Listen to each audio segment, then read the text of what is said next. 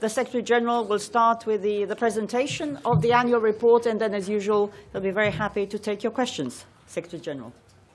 Good morning.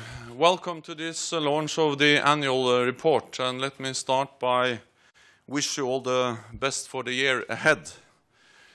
2014 was not a good year for European security. In fact, it was a black year. To the south, violent extremism is at our borders, spreading turmoil across North Africa and the Middle East, and fueling terrorism in our own streets. To the east, Russia follows a disturbing pattern using military force to annex Crimea destabilize eastern Ukraine, and intimidate its neighbors in disregard of international law. So our security environment has fundamentally changed. This annual report demonstrates that we are adapting to deal with these changes and to keep NATO strong. Let me give you some facts and figures in some key areas. And the first figure is 200. Last year, we held 200 NATO and national exercises. One exercise started every two days on the ground, at sea, and in the air. And they will continue, so we are raising the readiness of our forces. The next figure is 400. Last year, Allied aircraft intercepted Russian planes over 400 times. Over 150 of these intercepts were conducted by NATO's Baltic Air Policing Mission. That's about four times as many as in 2013. So we are staying vigilant. The next number is 6. We are maintaining a continuous presence of our forces by rotation in the eastern part of our alliance. When defense ministers meet next week, we will also decide on the size and the composition of our new spearhead force and setting up command, NATO command and control units in six of our eastern allies. So we are turning the readiness action plan we decided in Wales into reality. This will be the biggest reinforcement of our collective defense since the end of the Cold War. Then the number is 5,000. The NATO-led force KFOR with close to 5,000 soldiers from allies and partner countries provides a safe and secure environment and freedom of movement in Kosovo.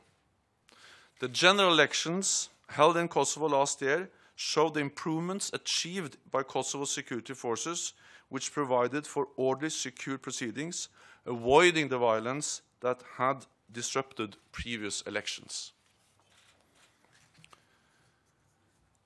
352,000 we have started a new chapter in Afghanistan.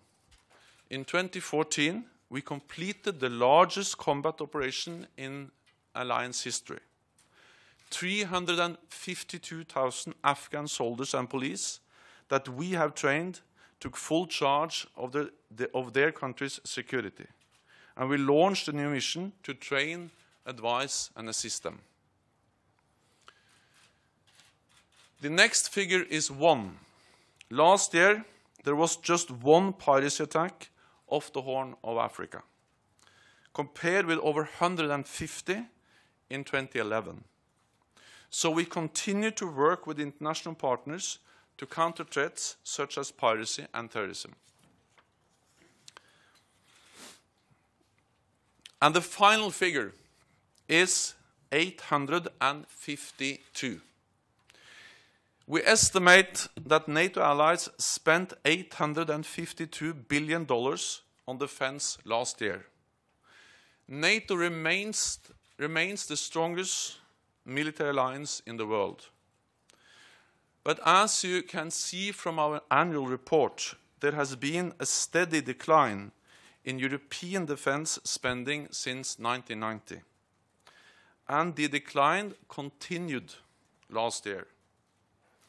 In 2014, European allies spent around $250 billion on defense, a reduction of $7 billion or about 3%. Yet last year, we also made an important pledge to stop the cuts in defense spending, to aim to spend 2% of gross domestic product on defense within a decade, and to spend that money more efficiently.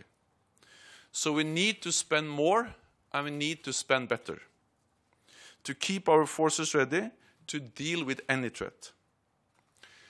We have seen some steps in the right direction, but there is a long way to go. We still have a serious mismatch between the security challenges we face and the resources we, did, we are dedicating to our defense. And continuing imbalances both across the Atlantic and within Europe itself. Just over four months ago, I stood here on my first day as Secretary General.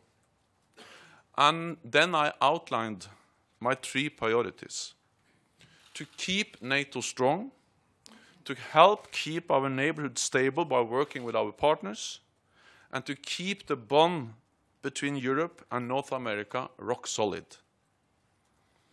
These priorities remains as important as ever. Last year, the Euro-Atlantic order came under threat. But as our annual report shows and makes clear, NATO is adapting and looking forward. We stand determined to protect our values and to keep our nations safe.